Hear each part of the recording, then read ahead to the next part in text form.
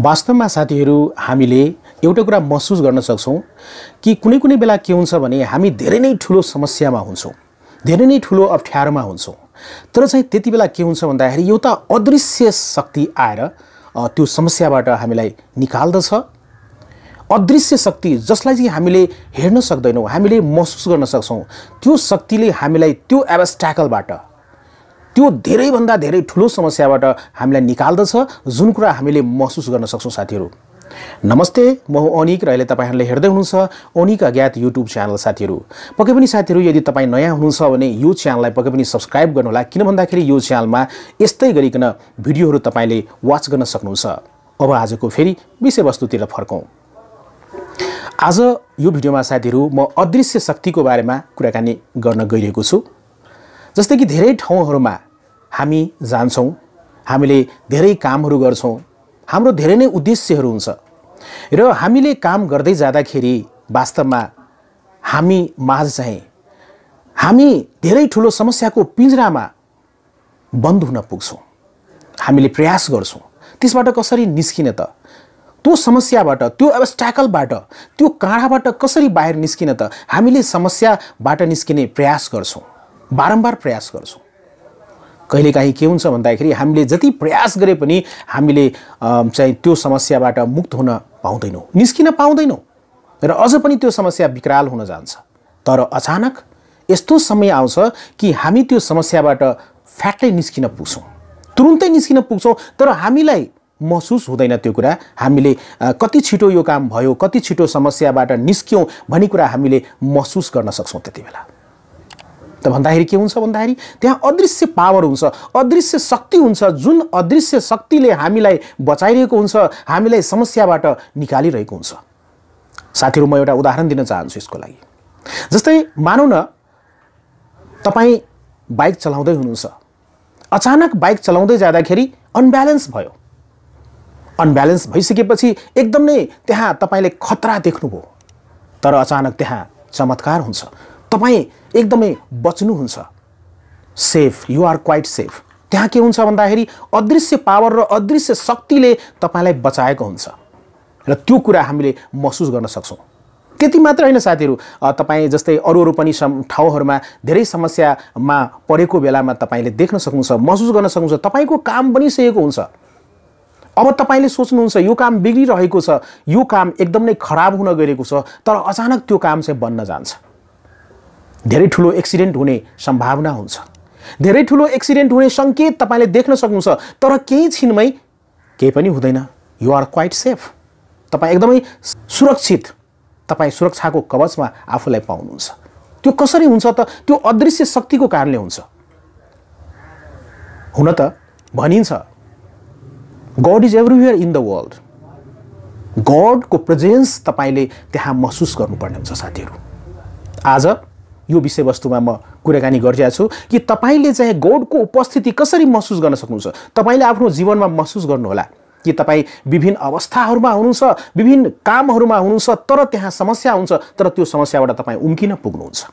किन भन्दाखेरि त्यहाँ द प्रेजेन्स अफ गड। गडको उपस्थिति हुन्छ र त्यो गडको उपस्थितिले गर्दाखेरि तपाईँ आफूलाई सेफ पाउनुहुन्छ। सुरक्षाको कवचमा तपाईँ पाउनुहुन्छ। र तपाईँको काम बनेर जान्छ। यु आर क्वाइट सेफ लागौँ एउटा उदाहरणतिर साथीहरू जस्तै एकचोटिको कुरा हो एकदम नै ठुलो वर्षा भयो। धेरै ठुलो वर्षा भयो। रातभरि पानी पर्यो। भयङ्कर वर्षा भयो। वनस्पति पनि निथुक्कै भिजे। त्यति मात्र होइन साथीहरू अग्ला अग्ला घरहरू पनि डुब्ने अवस्थामा आयो यति बाढी आयो यति पानी पर्यो रातभरि कि अग्ला अग्ला महलहरू पनि डुब्ने सङ्केत त्यहाँ आइरहेको थियो। अचानक अचानक धेरै पानी परेपछि सबैजनाले आफ्नो आफ्नो ठाउँमा लागे। सबैजनाले ओत खोजे। आफ्नो आफ्नो घर छोडेर अर्को ठाउँमा सरे किन भन्दाखेरि त्यहाँ त रातभरि पानी परिरहेको थियो बाढी आइरहेको थियो बाढी बढ्ने सम्भावना थियो। सबैजना आफ्नो आफ्नो ठाउँमा लागे। तर एकजना त्यहाँ हुनुहुन्थ्यो। उहाँले धेरै मेहनत गरेर त्यो घर बनाउनु भएको थियो। बिस्तारै बिस्तारै पानीको बाढीको लेभल चाहिँ बढ्दै गइरहेको थियो माथि माथि पानीको फोर्स जुन छ बाढीको त्यो बिस्तारै बिस्तारै बढ्दै गइरहेको थियो। तर एकजना मानिस हुनुहुन्थ्यो उहाँले सोच्नुभयो कि म कहीँ पनि जान्न किनभने गडले मलाई बचाउनुहुन्छ। यो घर मैले कति मेहनतले बनाएको छु यो घर बगाउँदैन पके पनि मेरो विश्वास हो। गडले मलाई सुरक्षा गर्नुहुन्छ म कहीँ पनि जान्न। त्यो सोचेर ऊ त्यो घरभित्र बस्नुभयो। अलिकति पानीको लेभल माथि बढ्यो बाढीको फोर्स बढ्यो। त्यस्तै न उसका परिवारका जति पनि सदस्यहरू थिए हजुरबुवा अब हिँड्नुहोस्। किनभने पानीको बाढीको फोर्स एकदम नै बढिरहेको छ। बिस्तारै बिस्तारै लेभल बढ्दै गइरहेको छ। हामी सुरक्षित छैनौँ यहाँ। हजुरबुवा हिँड्नुहोस्। नातिले भने। त्यसपछि हुन्छ म जाँदिनँ म यहीँ बस्छु। त्यसपछि केही बेर पछि छोरा आउनुभयो। छोराले पनि भन्नुभयो बुवा अब यहाँ बस्नु ठिक छैन। बाढी बढिरहेको छ। खतराको सङ्केत हो यो। धेरै बाढी बढ्यो भने यहाँ बस्नु सुरक्षित छैन। हिँड्नुहोस् यहाँबाट। अनि फेरि पनि बुवाले भन्नुभयो हुँदैन छोरा म जाँदिनँ कहीँ पनि। धेरै मेहनतले यो घरलाई बनाएको छु। म यहीँ बस्छु। पानीको बाढीले केही पनि गर्दैन। मलाई गौड हुनुहुन्छ। गौडले मलाई बचाउनुहुन्छ। त्यस्तो उहाँले भन्नुभयो छोरा पनि जानुभयो। त्यसपछि उहाँको श्रीमती पनि आउनुभयो। तै पनि मान्नु भएन। बुहारी पनि आउनुभयो। हिँड्नुहोस् बुवा यहाँबाट। खतरा हुनसक्छ। हामी सुरक्षित छैनौँ यहाँ। तैपनि उहाँले मान्नु भएन। God is here God will save me भगवान्ले मलाई बचाउनुहुन्छ। म कहीँ कहीँ पनि जान्न। म कहीँ पनि जान्न। म यहीँ बस्छु। जति पानी आए पनि गडले मलाई बचाउनुहुन्छ। उहाँले भन्नुभयो। त्यसपछि बुहारी पनि जानुभयो। अरू पनि गाउँका भद्र भला आदमी जो मानिसहरू उहाँसँग नजिक हुनुहुन्थ्यो। उहाँहरू पनि आउनुभयो। हिँड्नुहोस् हजुर बुवा हिँड्नुहोस् बुवा। हिँड्नुहोस् साथी। यहाँ चाहिँ खतरा हो। अब यहाँ बस्नु ठिक छैन। यहाँबाट हिँड्नुपर्छ। किन भन्दाखेरि धेरै ठुलो पानी परेको छ। अझ पनि पानी पर्दैछ। बाढी बढ्दैछ। यहाँ तपाईँ सुरक्षित हुन्न। यहाँ गाउँ नै खाली भइसक्यो टोल नै खाली भइसक्यो। कोही पनि आफ्नो घरमा छैन। हिँड्नुहोस् यहाँबाट। भन्नुभयो। तर उहाँले मान्नु भएन। कसैको कुरा सुन्नु भएन र उहाँ त्यही बस्नुभयो। अन्तमा उहाँ त्यही बस्नुभयो र सबैजना त्यहाँबाट आफ्नो आफ्नो ठाउँमा लाग्नुभयो सुरक्षित ठाउँमा लाग्नुभयो। त्यसपछि बिस्तारै बिस्तारै पानी बढ्दै गयो। बढ्दै गयो बढ्दै गयो बढ्दै गयो। अन्तमा यति पानी बढ्यो कि घरलाई डुबाउने अवस्था आयो। उहाँ छतमा जानुभयो। छतमा गइसकेपछि पानीको फोर्स कति धेरै बढिसक्यो? सबै घरहरू बढाए बगाइसके। वरिपरिका घरहरू त बगेर गए तर त्यो घर बाँकी थियो। छतमा पानी पुगेको थिएन अलिकति। त्यसपछि माथिबाट हेलिकप्टर आयो। बचाउ दल आयो। बचाउ दलले भने हजुर बुवा बुवा अब यहाँबाट जानुपर्छ तपाईँले। हेर्नुहोस् पानीको लेभल बढ्दै गरेको छ बाढी बढ्दै गरेको छ अझ पनि पानी पर्दैछ। यहाँबाट हिँड्नुहोस् हामीसँग। हामीहरू तपाईँलाई लिन आएका हौँ। हिँड्नुहोस् अब यहाँ तपाईँ सुरक्षित हुनुहुन्न। ज्यान बचाउनु छ भने पक्कै पनि यहाँबाट हिँड्नुहोस्। बिन्ती गर्नुभयो बचाउ दलले उहाँलाई धेरै नै बिन्ती गर्नुभयो हेलिकप्टर माथि आइरहेको थियो। तर हजुरबुवाले त्यो व्यक्तिले के भन्नुभयो भने अह म त कतै जान्न। म यहीँ बस्छु पक्कै पनि म सुरक्षित छु गडले मलाई बचाउनुहुन्छ पक्कै पनि उहाँले भन्नुभयो। अन्तमा सुरक्षा दलले धेरै रिक्वेस्ट गर्नुभयो धेरै भन्नुभयो तर उहाँले मान्नु भएन। अन्तमा बचाउ दल पनि फर्केर गए। अन्तमा अझ पनि पानीको बहाव बढ्दै गयो बाढी बढ्दै गयो पानी पर्दै गयो। अन्तमा बिस्तारै बिस्तारै त्यो भवनलाई पनि बगाएर गयो र साथसाथै त्यो व्यक्तिलाई पनि बाढीले बगायो। साथीहरू तपाईँले के देख्नुभयो भन्दाखेरि हामीले द प्रेजेन्स अफ गड गडको उपस्थिति हामीले महसुस गर्नुपर्छ। कुनै कुनै बेला के हुन्छ भन्दाखेरि हामी समस्यामा परेका हुन्छौँ हामी धेरै ठुलो लफडामा परेका हुन्छौँ हामी खतरा कुरामा परिरहेको हुन्छौँ।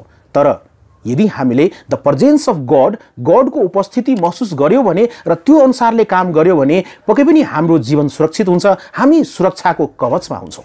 उदाहरण लिनुहोस्। यहाँ तपाईँले हेर्न सक्नुहुन्छ धेरैजना व्यक्तिले उहाँलाई रिक्वेस्ट गर्नुभयो लिनको लागि आउनुभयो। That is the presence of God यहाँ गडको उपस्थिति उहाँले फिल गर्नु भएन कि धेरैजना व्यक्तिले रिक्वेस्ट गर्नुभयो उहाँलाई कि यहाँ नबस्नुहोस् यो ठाउँ सुरक्षित छैन अब हामी बाहिर जानुपर्छ। तर उहाँले मान्नु भएन। जिदी गर्नुभयो कि गौडले मलाई बचाउनुहुन्छ। हामीले मुखले भनेर हुँदैन गौडले हामीलाई बचाउनुहुन्छ। हामीले चाहिँ गौडको उपस्थिति महसुस गर्नुपर्छ र त्यो अनुसारले चाहिँ कामलाई अगाडि बढाउनु पर्ने हुन्छ साथीहरू। त्यो अवस्था त्यहाँ थियो। त्यसपछि पछि तपाईँले हेर्न सक्नुहुन्छ हेलिकप्टर पनि आयो बचाउ दल पनि आयो। जब उहाँ चाहिँ छतमा हुनुहुन्थ्यो पानीको लेभल धेरै नै बढिसकेको थियो।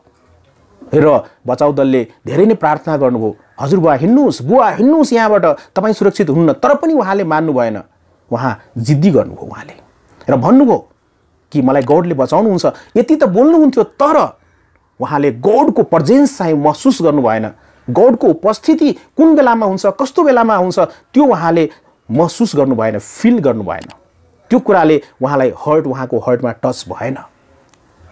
त्यसै कारणले गर्दा साथीहरू हामीले कुनै पनि काम गर्दाखेरि यदि हामी समस्यामा हुन्छौँ भने हामी त्यो समस्याबाट उम्किन खोज्छौँ भने पक्कै पनि त्यो अवस्था आएको हुन्छ। हामीले गौडको प्रेजेन्स चाहिँ महसुस गर्नुपर्ने हुन्छ। गौडको उपस्थिति चाहिँ महसुस गर्नुपर्ने हुन्छ। जुन एउटा भनौँ न अनसिन पावर हुन्छ त्यो पावरले हामीलाई बचाउन खोजिरहेको छ। केवल हामीले त्यो अनसिन पावरलाई महसुस गर्नुपर्ने हुन्छ साथीहरू। त्यस कारणले साथीहरू यो भिडियोबाट म यही सन्देश दिन खोजेको छु कि वास्तवमा हामीले धेरै कामहरू गर्छौँ धेरै कामहरू गर्नु पनि पर्छ।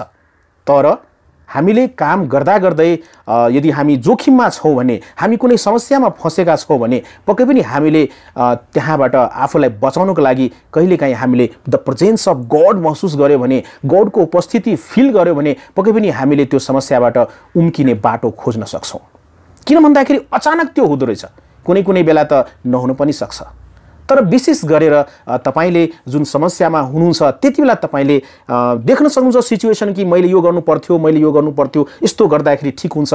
किन भन्दाखेरि तपाईँले त्यो गौडको आवाज सुन्नुहुन्छ जुन बचाउ दल तपाईँलाई आन्तरिक रूपमा अनसिन रूपमा जुन बचाउ दल आएको हुन्छ त्यो तपाईँलाई घचघचाइरहेको हुन्छ र यदि तपाईँले त्यो कुरालाई बुझ्नु भएन भने त्यो कुरालाई महसुस गर्नु भएन भने अनसिन पावरलाई तपाईँ धेरै ठुलोमा समस्यामा पर्न सक्नुहुन्छ धेरै ठुलो समस्यामा पर्न सक्नुहुन्छ। तर तपाईँले त्यो अनसिन पावरलाई जुन बचाउ दलले तपाईँलाई घचघचाइरहेको हुन्छ होइन यसरी नगरौँ। यसरी गर्दा ठिक हुन्छ। तपाईँको भित्री आत्माले पनि भनिरहेको हुन्छ त्यो बेला कि यसरी गर्दा ठिक हुन्छ। तर हाम्रो भित्री आत्माले भने पनि हामीले मान्दैनौँ। त्यसै कारणले त्यो अनसिन जुन पावर छ अननोन जुन पावर छ त्यो पावरले हामीलाई घचघचाइरहेको हुन्छ। The presence of God. त्यो ल्याङ्ग्वेज हामीले बुझ्यौँ भने त्यो भाषा हामीले बुझ्यौँ भने पक्कै पनि हामीले आफ्नो आफूलाई जीवनलाई बचाउन सक्छौँ। यदि समस्यामा परेको छौँ भने पक्कै पनि। हस् साथीहरू यो सानो भिडियो थियो पक्कै पनि एउटा हामीले पनि द प्रेजेन्स अफ गड महसुस गर्नुपर्ने हुन्छ हरेक अवस्थाहरूमा। त्यस्तो अवस्था आइरहेको हुन्छ साथीहरू। हरेक अवस्थाहरूमा त्यस्तो सिचुएसन आइरहेको हुन्छ कि हामीलाई कुनै न कुनै अनसिन आवाज आइरहेको हुन्छ कि यस्तो गर्दा ठिक हुन्छ उस्तो गर्दा ठिक हुन्छ। त्यो हामीले त्यो आवाजलाई पहिचान गर्नुपर्ने हुन्छ त्यो आवाजलाई सुन्नुपर्ने हुन्छ।